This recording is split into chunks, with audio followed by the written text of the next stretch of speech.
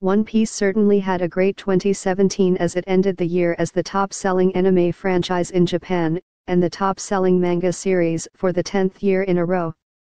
As it sets up to have an potentially even greater 2018, the creator has sent off the year in a classy way. Series creator Eiichiro Oda has uploaded an end-of-the-year art piece featuring Nami in a far more detailed look than she has even got in the series. It's colorful, seductive, and a great look at Nami for her fans. As for how the author himself feels about the series' current popularity, the creator of One Piece, Eiichiro Oda, responded gracefully and humorously to finding out about his ranking in manga sales with I love being number one. I won't forget the feeling of gratitude. I'll make every effort to make One Piece the best manga in terms of both records and people's memory. Thank you so much.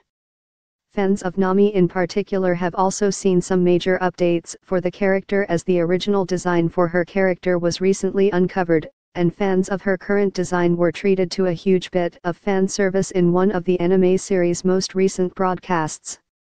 Eiichiro Oda also revealed some upcoming news for One Piece's future at Jump Festa 2018. Not only will the manga see Wano sooner rather than later, the next villain of the series is one of the legends which lurks in the One Piece world. The greatest enemy ever for Straw Hats will hinder their way can you believe Marineford Summit War will look cute compared to that.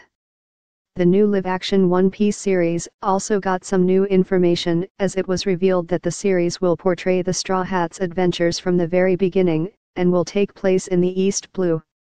Eiichiro Oda's One Piece first began serialization in Shueisha's Weekly Shonen Jump in 1997. It has been collected into 87 volumes, with a few chapters yet to be included. It has been a critical and commercial success worldwide with many of the volumes breaking printing records in Japan. The manga has even set a Guinness World Record for the most copies published for the same comic book by a single author, and is the best-selling manga series worldwide with 430 million copies sold worldwide.